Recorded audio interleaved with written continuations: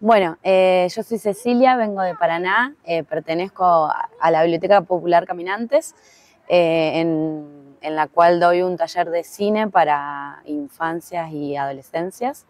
también participo de algunas cositas porque es la biblioteca que está en mi barrio, así que bueno, pero como varios ya deben haber hablado de la Biblioteca Caminantes, también vengo en representación de la Casita de los Grises de mi barrio, que es un espacio cultural, comunitario, eh, que está en el barrio Mosconi de la ciudad de Paraná. Y bueno, es un, básicamente es un centro cultural eh, en el que realizamos talleres y actividades para, sobre todo para orientadas a infancias y adolescencias. Eh, también hacemos otras actividades. Tenemos un taller de serigrafía, trajimos algunas de las producciones para vender. tenemos un, taller un taller de comunicación el año pasado funcionó un taller mm, de, batucada y uno de artes. Este año estamos viendo ahí con qué seguimos. Presentamos varios proyectos que estamos esperando que nos salgan.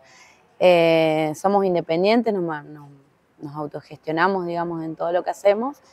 Eh, y bueno, es un espacio que tiene ya 20 años de trayectoria en el, barrio, en el territorio, laburando con, las gurizadas. Eh, y con las familias, sobre todo el derecho a la, cultura y al arte, al juego y a la participación de, de las niñeces y las adolescencias.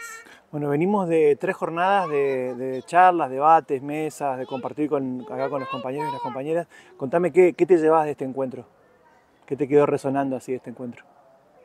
Bueno, eh, yo vengo participando más que nada por el lado de la Biblioteca Caminante, que siempre me invitan y que somos parte y que estuve también en la organización del encuentro en Paraná, así que vengo participando de Cultura Viva, siempre es un momento súper enriquecedor cada una de las personas que se acercan, compartir todas las instancias, las instancias que vivimos eh, han estado recopadas, pero lo que a mí más me, lo que más me, quedó resonando y me quiero llevar para compartir y quiero seguir dialogando es eh, con el taller que dieron les pibis, los adolescentes que vinieron y nos dieron un taller de adultocentrismo que nos permitió, nos disparó un montón de otras charlas, conversaciones, temas. Eh, y formas de encarar eh, lo que venimos haciendo. Así que como trabajadora también de un espacio que está abocado a las, a las infancias, a las adolescencias y a las juventudes, eh, me llevo eso como también tareita de compartir y retroalimentar eso.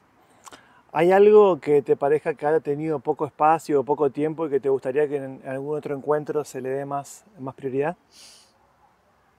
Eh, uy, qué pregunta. Eh, sí, por ahí más eh, al tema del juego, que hoy lo mencionaban un poco, no sé si al juego, sino a esto de que no solamente reunirnos a hablar, sino también a compartir lo que, lo que hacemos en cada uno de los territorios y como hacedores de la cultura comunitaria. Eh, por ahí jugar un poco más, que haya un poco más de intervenciones culturales, compartir nuestras dinámicas que realizamos en cada uno de los espacios, creo que que eso por ahí me quedé con ganas. Bueno, muchísimas gracias. Bueno, gracias a vos. Bueno, y muchas gracias a los anfitriones, que la verdad ha sido hermoso. Eso es algo que también, perdón que no lo dije antes, pero la experiencia que nos compartieron de este territorio y de lo que vienen haciendo y del, gobierno eh, comunal que vienen gestionando, la verdad que fue muy enriquecedora y que también me llevo de ahí muchas cosas para compartir. Eh, me parecieron gente súper copada, súper pragmática, que no chamulla, sino que hace. Así que muy agradecida también con el, con el territorio, con las personas que, que nos recibieron. Muchas gracias, Cecilia. Bueno.